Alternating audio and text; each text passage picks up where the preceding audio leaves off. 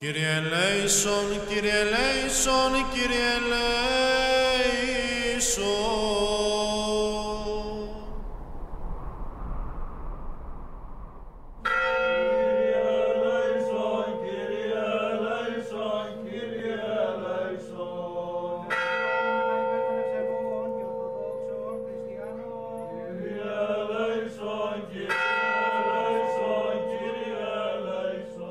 The culmination of the entire year at St. Catherine's Monastery is the joyous and light filled celebration of the resurrection of Christ, the Feast of Feasts and the Festival of Festivals.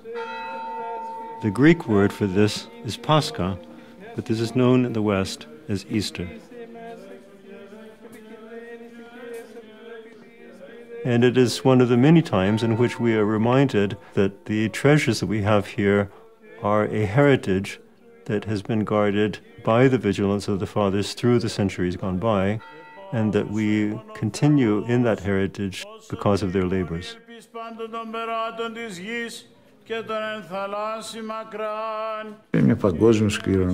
And they are the world's inheritance. And we have the responsibility to protect and conserve them, as we have done to this day throughout the ages, for as long as the centuries exist.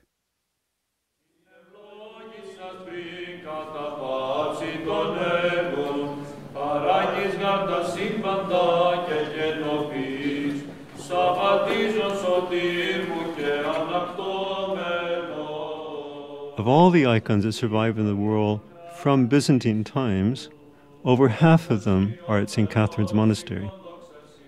It is very humbling to be surrounded at every service by these glorious and beautiful icons. Standing in the basilica that has stood since the year 550 and chanting the same services and the same hymns, the way of life here is very much the ancient way of life that has been pursued here for many, many centuries.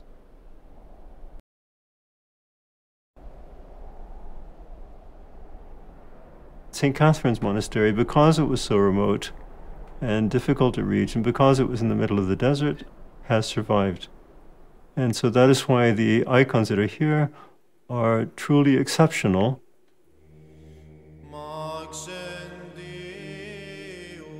I think one of the most distinctive things about the Orthodox churches are the presence of icons.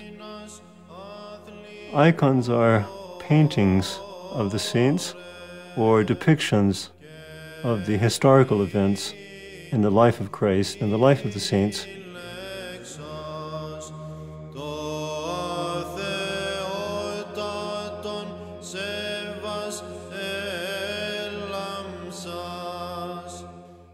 Icons are not simply works of art.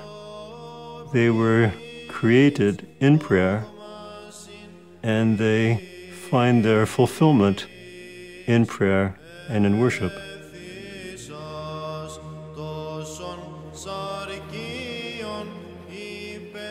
And it is a very beautiful thing to see icons in the services. They seem to come to life with the lights, candles, with the incense, and the lamps that are held, that are lit in front of the icons. And the entire service, both the vestments, the hymns, the icons, it becomes a seamless whole.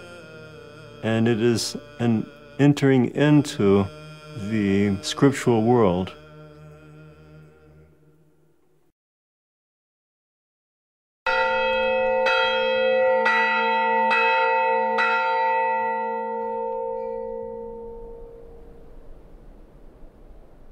At the beginning and the middle and the end of every day, we have the services which form the, the anchor to each day.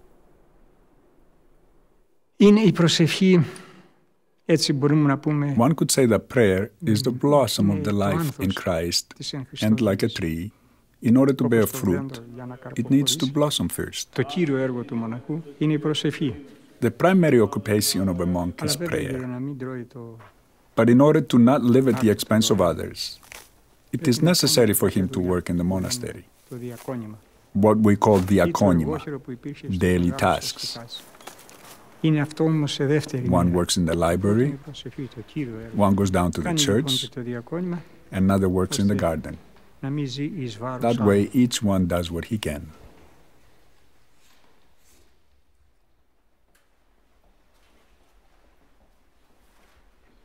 The library here at St. Catherine's Monastery is exceptional in many ways. We have 3,300 manuscripts, and they are written in 11 languages, and the oldest dates from the 4th century. This was a meeting point for pilgrims from all over the Orthodox world to honor the holy place where God revealed himself in a special way to the holy prophet Moses and the holy prophet Elijah. Moses led the flock to the far side of the desert and came to Horeb, the mountain of God. There the angel of the Lord appeared to him in flames of fire from within a bush. Moses saw that though the bush was on fire, it did not burn up. God said, Take off your sandals, for the place where you are standing is holy ground.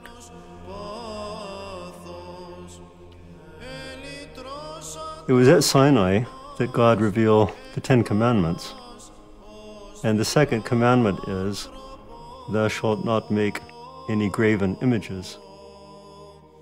And I've often thought that this is a juxtaposition to have one of the most remarkable collections of icons in the world at the place where God gave the commandment not to make graven images.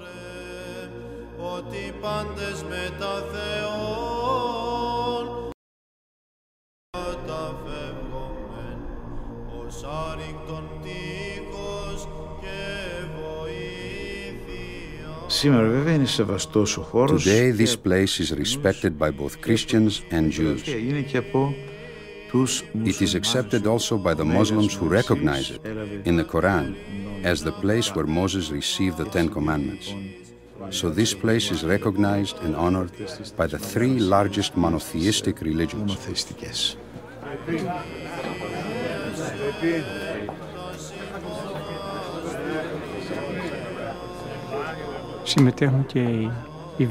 The Bedouins share in the joys of the monks, and for us, the greatest joy is Pascha. The monastery gives them blessings on the other days, and we help them in every way possible.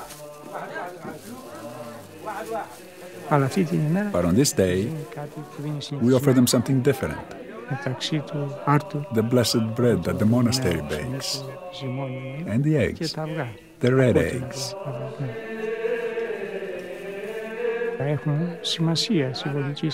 The red eggs are symbolically important in that the egg has life within it.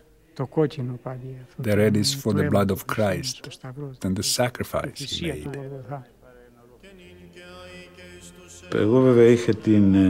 I have had the joy, I will not say luck, because it was an obvious choice, to have been at this monastery since 1961. And so I have been living here for about 45 years, since I arrived as a young man. There have been many changes here in that time. In today's world, we have grown more and more involved with ourselves and our material possessions. It is what we now call globalization. I wish that word meant the global rebirth and renewal of the spirit. Unfortunately, it does not seem to. We would be a whole lot happier if it did. This is what we try to do here to give life to that other meaning.